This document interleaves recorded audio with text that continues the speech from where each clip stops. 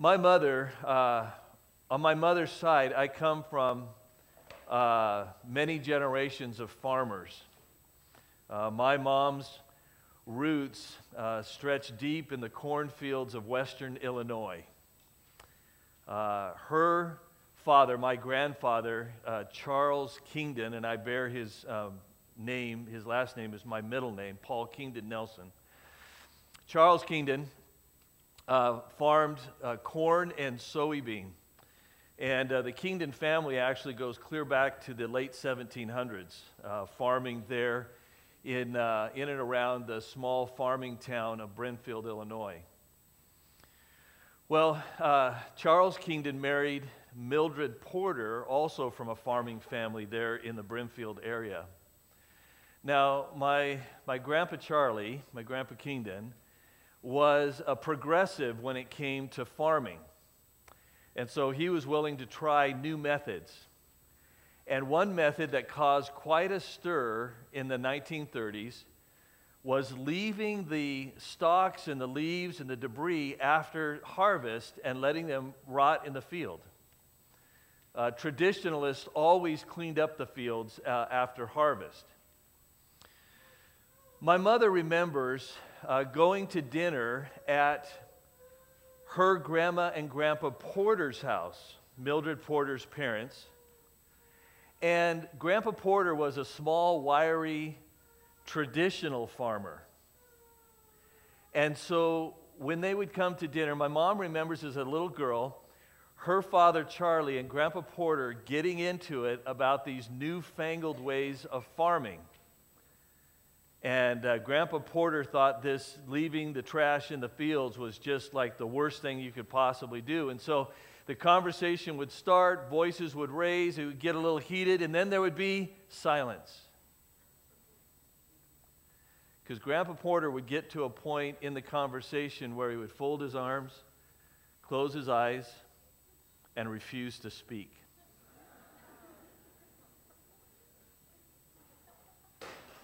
It was done. There was no more conversation. Mom and her parents and sisters would pack up and go home because Grandpa Porter was done. He just shut down. Now, I, I hope you're not like my Grandpa Porter. I hope that uh, you are open and you are teachable. And you don't suffer from the hardening of the categories. Yeah, that takes a while for you.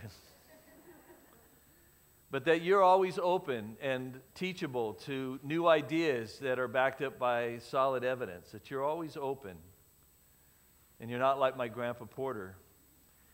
But as we've been studying the scriptures, as we've been studying Romans 9 through 11, we discover that the nation of Israel, the spiritual leaders of Israel, were like my grandpa Porter, and they folded their arms and they closed their eyes to the evidence when Jesus came the first time that he was, in fact, their promised Messiah. Now, as you know, that through the Old Testament prophets, God revealed that he was going to send a deliverer who would deliver us from the consequences of the fall, that he would defeat the serpent, and that he would reverse the consequences of the fall and restore paradise. And God promised that this Messiah would come through the nation of Israel.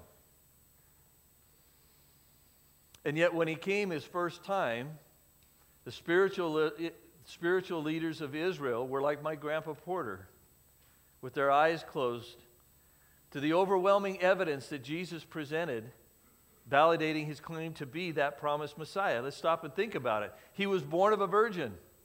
That fulfilled the prophecies of Genesis 3:15 and Isaiah 7. He was born as a descendant of Abraham, Isaac, Jacob, through the tribe of Judah, and specifically within the tribe of Judah, the line of David. That fulfilled prophecies from Genesis chapter 49 and 2 Samuel chapter 7. Not only that, he was born in the little tiny village of Bethlehem. That fulfilled a clear prophecy in Micah. When he was 12 years old, he astounded the chief priests and the scribes, the experts in the law. He astounded them at, at age 12 with his knowledge and understanding of the Torah. When he began his public ministry, in addition to the many miracles and healings he accomplished, he accomplished three miracles that the rabbis taught could only be accomplished by the Messiah. And those three miracles were the healing of a man born blind, the healing of a Jewish leper, and the casting out of a demon that caused muteness. The Jewish rabbis had written over the centuries that those are miracles that only the Messiah can accomplish. And Jesus accomplished all three. On the week of his crucifixion, Jesus rode into Jerusalem on the foal of a donkey. A clear, clear fulfillment of Zechariah 9 9. The means by which Israel as a nation would recognize her Messiah and her King. Jesus eventually submitted to crucifixion on the cross, which fulfilled prophecies from Psalm 16, Psalm 22, Isaiah 53, and Daniel 9. And then ultimately, he rose on the third day, fulfilling prophecies in Isaiah 53 and Psalm 22. I mean, the evidence was overwhelming. This is your Messiah.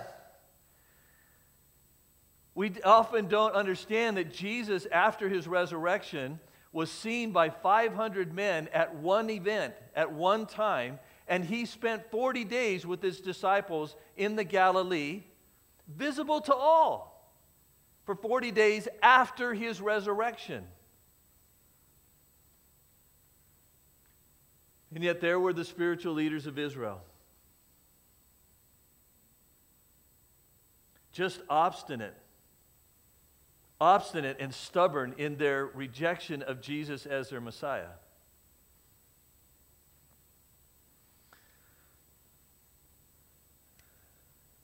Israel remains hardened in their rejection of Jesus to this day. Now, as we know, in addition to promises of the Messiah, God also promised that the nation of Israel would come under the new covenant that God would make a new covenant with Israel, and in that day, every Jew would be saved. Every Jew would be reconciled to God. Every Jew alive at that time would stand in a right relationship with God. And yet, you and I know that the nation of Israel has not yet entered into and experienced the promises of the new covenant. In fact, the vast majority of Jews today, as it has been for the last 2,000 years, are separated from God in their unbelief. And not only do they rec- uh, reject Jesus as their Messiah, they also reject God's basis of salvation, which is justification by faith. If a Jew is religious at all and not a messianic Jew, then they follow the official Jewish teaching that the way a person is made right with God is through keeping the law and doing good works. That's the official teaching of Judaism. Now, I share these things with you, and I, I get loud and I get intense, but I'm, this is a matter of heartbreak that the nation of Israel has not yet entered into the new covenant, has not yet been saved as a nation, and has suffered horribly over the last 2,000 years. Now, praise God, as we have studied, in every generation of this dispensation, God has elected Jews to be saved through faith in Jesus Christ. And so, uh, by His grace, there has always been in every generation a believing remnant of Jews because of God's grace and election. You see, that's what Paul revealed, and we studied last week in Romans 9 he was explaining the present condition of Israel, why Israel is not yet saved, and why so few Jews throughout Israel's history, including up to the present, why so few Jews believe and are saved. And it's because of God's election, God's sovereignty, that God has, God has limited the number of descendants of Abraham who will receive his covenant promises and that That group is called the remnant because they are a very small percentage of the worldwide citizens of Jews. But praise God that in every generation, as I've said, there is a remnant who believe because of God's election. Because left on their own, none of them would believe. Now, in Romans 10, uh, beginning with chapter 9, verse 30, Paul is explaining from the human side why Israel has not yet received the covenant promises, why Israel is not yet saved, why there is only a remnant. Romans 9 was from the divine side, God's sovereignty. Romans 10 is from the human side, the human responsibility that Israel bears for her condition. Let's look at chapter 9, verse 30, where we again are looking at the human side of Israel's partial hardening. We've studied that. Israel believes righteousness can be earned by keeping the law. Israel believes righteousness can be earned by keeping the law. Paul writes in verse 30, What shall we say then? That Gentiles who did not pursue righteousness have, atta- have attained it, that is, a righteousness that is by faith. But that Israel, who pursued a law that would lead to righteousness, did not succeed in reaching that law. Why? Because they did not pursue it by faith, but as if it were based on works. They have stumbled over the stumbling stone, as it is written Behold, I am laying in Zion a stone of stumbling and a rock of offense, and whoever believes in him will not be put to shame. Brothers, my heart's desire and prayer to God for them is that they may be saved. For I bear them witness that they have a zeal for God, but not according to knowledge. For, being ignorant of the righteousness of God and seeking to establish their own, they did not submit to God's righteousness. For Christ is the end of the law for righteousness to everyone who believes. As I mentioned, to this day, official Judaism teaches that the only means of a right relationship with God is by keeping the law and doing good works. And in fact, Judaism alone is not alone in her rejection of justification by faith, because among all the world religions, biblical Christianity is the only one that teaches the truth that justification is by faith in Jesus Christ alone. All other world religions teach a salvation that is based on our works, on our trying to make ourselves right with God. And I hope you understand by this time that trying to be justified by your works is impossible. Any idea that you can make yourself right with God by doing good deeds is impossible because there is no way for you to offset, there's no way for me to offset all the many ways that I fail to honor and glorify God, my Creator, in attitude and action. There's no way I can offset and pay for that. And yet, God, who is just and right, must punish my evil, must punish our evil, or he will violate his character and he will violate justice and righteousness.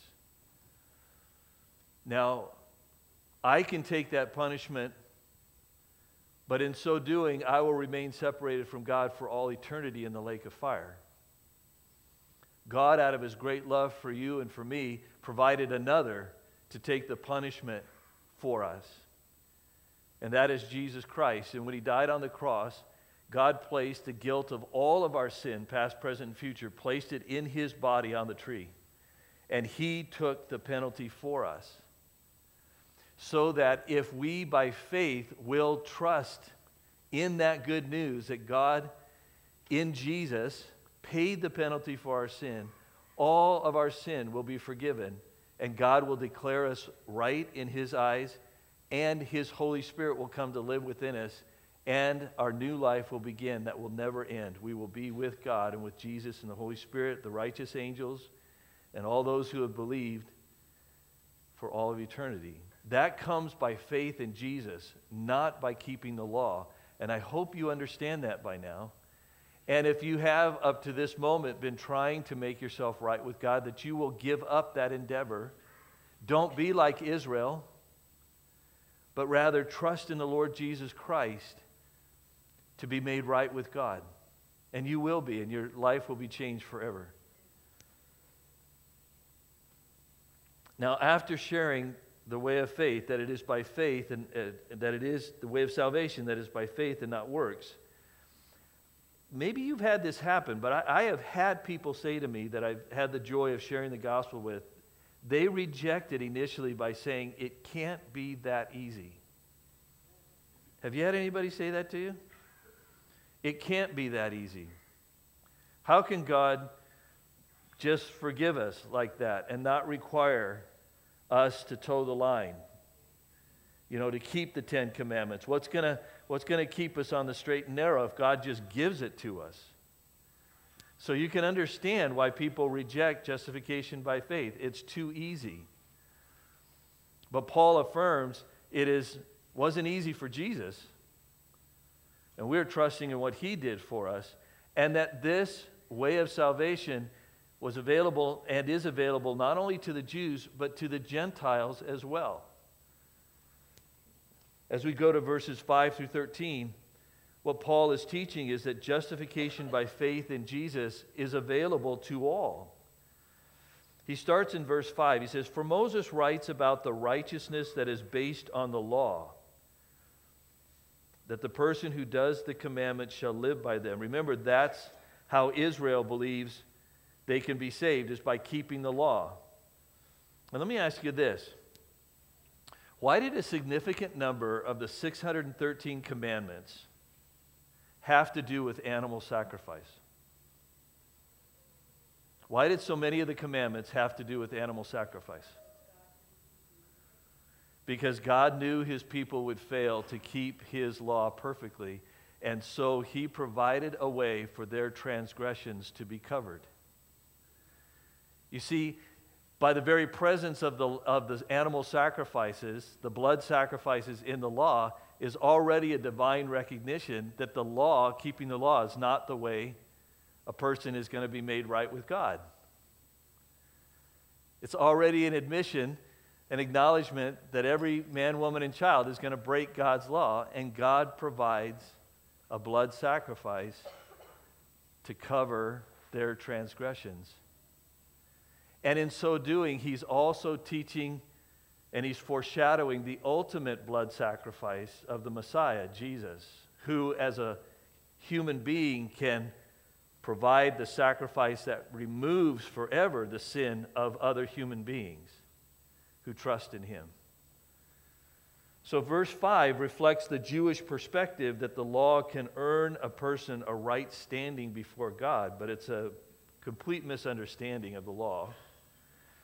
Verses 6 through 13 assert that a right standing before God can only be secured by faith and that it doesn't require extraordinary effort.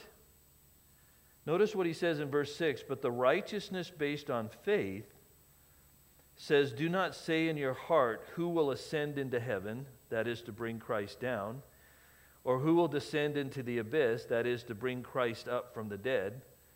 But what does it say? The, this word or the word is near you in your mouth and in your heart. That is the word of faith that we proclaim. Now, we read this and think, what in the world is Paul saying?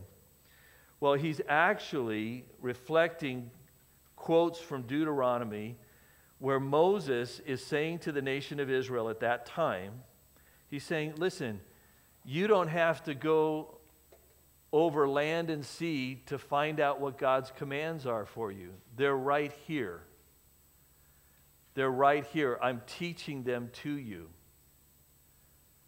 And in the same way, Paul is saying, the way of salvation isn't something that anybody needs to go hither and yon and exert extraordinary effort to try and find them, to, to try and go to Jesus and bring him back down to heaven and say, Jesus, how do we get saved? Or to bring him up from the, from the pit. How do we get saved? No, no, no. It, it's here. I, we're telling you how to get saved.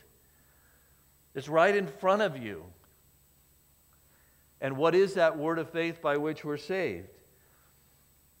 Verse 6 But the righteousness based on faith says, Do not say in your heart, Who will ascend into heaven? That is to bring Christ down. Or who will descend into the abyss? That is to bring Christ up from the dead. But what does it say? The word is near you, in your mouth and in your heart. That is the word of faith that we proclaim. Because if you confess with your mouth that Jesus is Lord and believe in your heart that God raised him from the dead, you will be saved. That's the word of faith. It's here. It was there in 57 AD. It was there when Jesus preached to the masses in Galilee and down in Judea. This is the word of faith. Believe on the Lord Jesus Christ. For with the heart one believes and is justified, and with the mouth one confesses and is saved. For the scripture says, Everyone who believes in him will not be put to shame. For there is no distinction between Jew and Greek. For the same Lord is Lord of all, bestowing his riches on all who call on him. For everyone who calls on the name of the Lord will be saved. And so Paul is saying salvation, justification by faith, is available to everyone, Jew and Gentile. It's right here. Believe in the deity of the Lord Jesus Christ, believe in his crucifixion and his resurrection for your sin and for your life, and you will be saved. You don't need to do any more than that, but to trust, to put your faith in the Lord Jesus Christ, and you will be saved.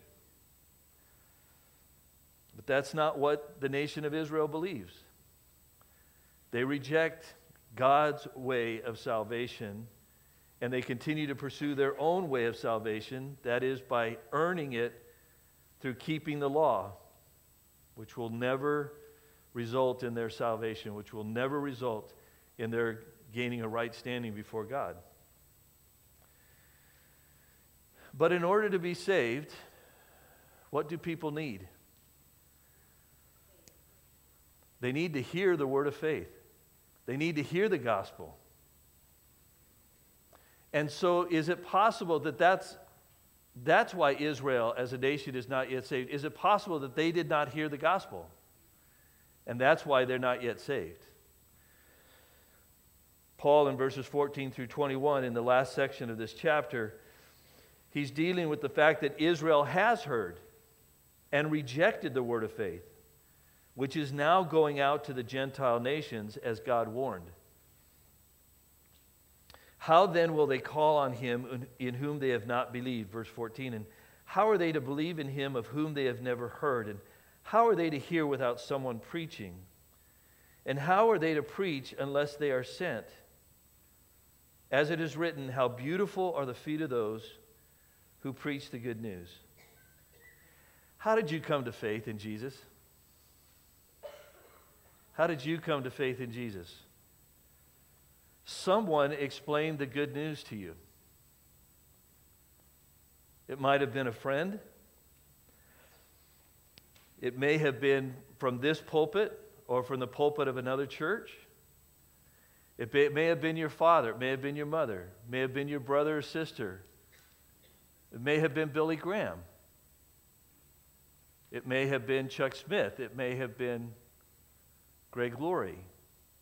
Or it may have been through reading that you do, did, such as uh, Stranger on the Road to Emmaus or another gospel pamphlet. Whatever the case, you came to faith in Jesus Christ because someone else explained the word of faith. Amen? Amen. Praise God for that person who is faithful to preach the gospel. Now, this is what Paul is affirming in verses 14 through 15. The way of faith, salvation is open to Jews and Gentiles alike through faith in Jesus Christ. But what do every Jew and Gentile need? They need to hear. They need to hear the good news. They need to hear the word of faith that through Jesus Christ, who is God, who died on the cross and rose again, you can have life and life eternal with God through faith in what Jesus has done for you. They have to hear that message. Now, isn't it interesting? Why is Paul writing the letter he is to the church in Rome? Because he wants them to partner with him and send him to preach the gospel to the western parts of the Roman Empire in Spain. All right, now let's think about this. Some people, when they hear the doctrine of election, which we studied last week, that God elects those who will be saved, and if God elects a person to salvation, they will be saved. Then some people reach the conclusion why bother sharing the gospel with other people? Because they're going to get saved whether I share the gospel with them or not. So it doesn't matter what I do. They're going to get saved, and those who are not elect by God are not going to get saved whether I preach the gospel or not. They're not going to get saved any, anyway. So, why do we bother preaching the gospel? Now, maybe some of you have had those same thoughts or objections when you heard the doctrine of election. God's election basically negates his method. But what do we see in the Apostle Paul? The Apostle Paul is the one who taught us the doctrine of election in chapter 9. But it's the Apostle Paul who is affirming that without the preaching of the gospel, no one gets saved. And he's given his whole life to preaching the gospel, though he understands election very clearly.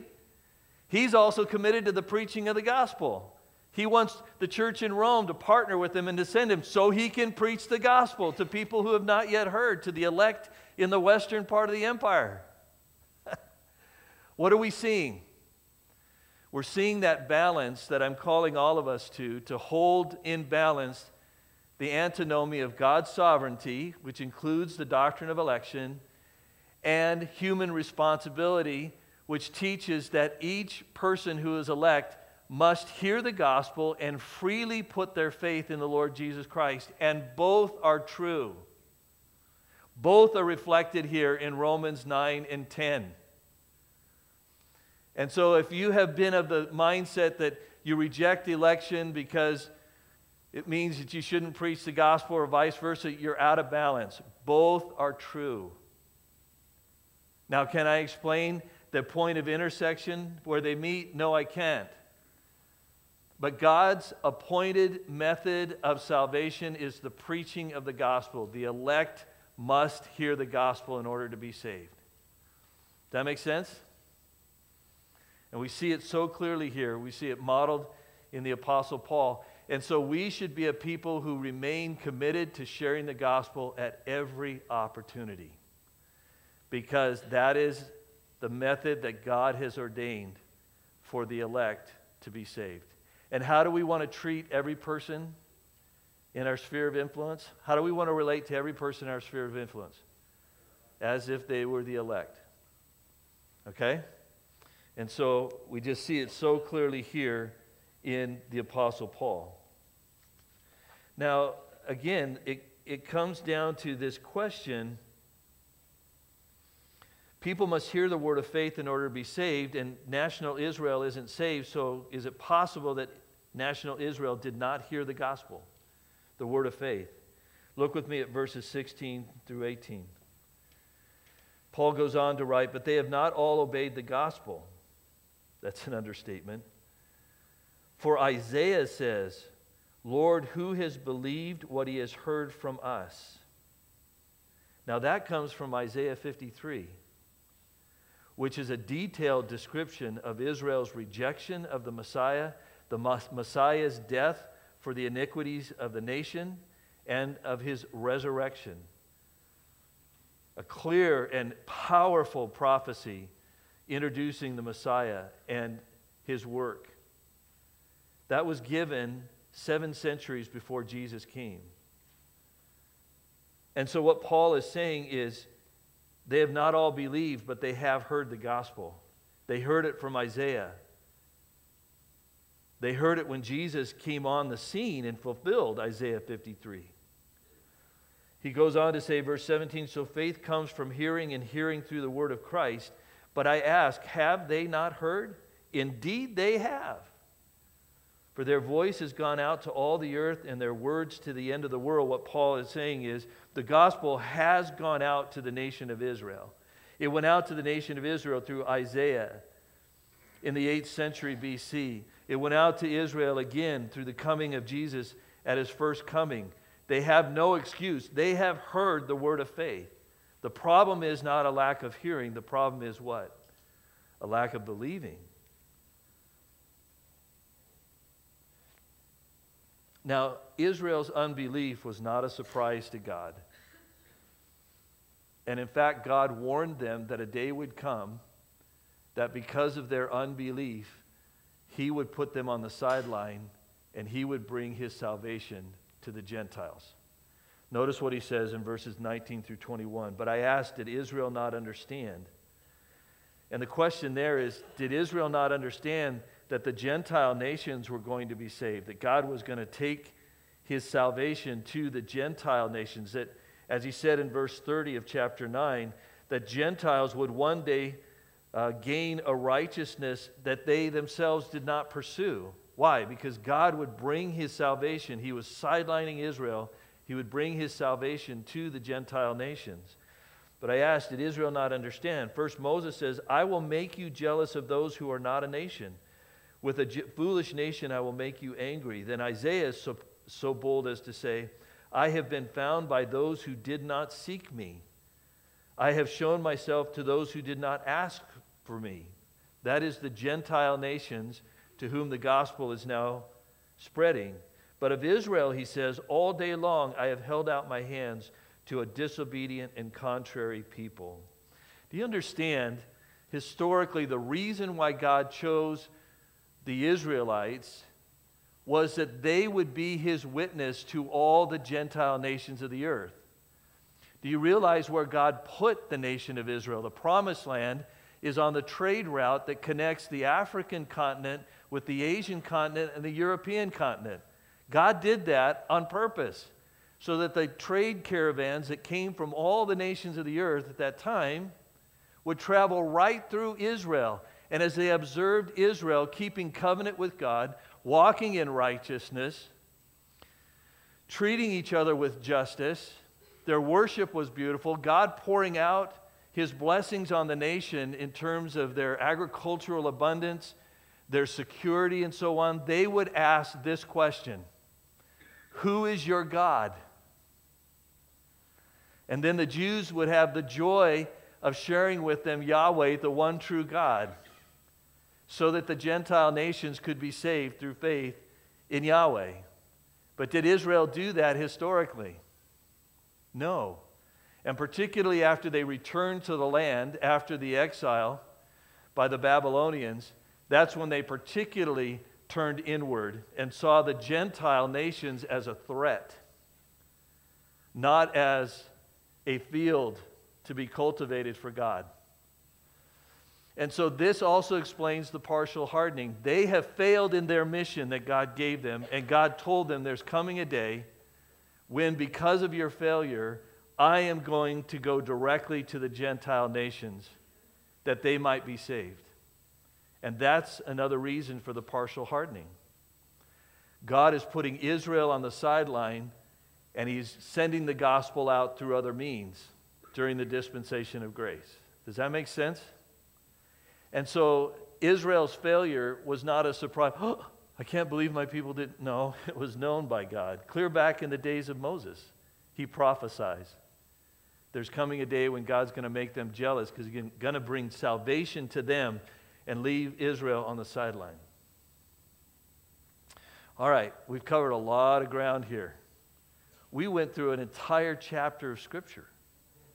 Plus, I should get a raise.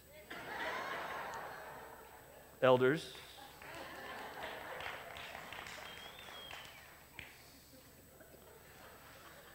So, what we're seeing here is in Romans 9, we're seeing Paul explain from God's sovereignty, from, from that side of the coin, why is it that so few Jews are trusting in Jesus Christ during this dispensation. And why are the majority not? It's because of the election of the remnant and the hardening of the rest as God brings salvation to the Gentile nations. Chapter 10 teaches us the reason why so few Jews trust in Christ and the vast majority reject him is because of Israel's unbelief rejection of Messiah, and rejection of justification by faith. That's why they're in this situation, and that's why God is sidelining them and bringing his salvation directly to the Gentile nations, okay, through other means. Now, in closing, two other things I want to share with you. We're clear through this wonderful example that we have here, we're clear that as we seek to hold the antinomy of God's sovereignty and man's responsibility, as we seek to hold those in balance, we see it modeled by the Apostle Paul. And particularly with regard to our sharing the gospel with others. God's election does not negate God's method. God's election does not negate God's method. What is God's method for people coming to faith in Jesus Christ? Through the preaching of the gospel. And so we must be a people committed to share the gospel, the way of salvation, with every unsaved person in our sphere of influence. Amen? And then finally, this morning, this passage is all about God's salvation, his desire for a relationship with each one of us. And so this morning, if you have a desire for a relationship with God, know that God has a desire for a relationship with you. And that he's made the way through Jesus Christ for you to be reconciled to him. You see, it's your sin that separates you from God.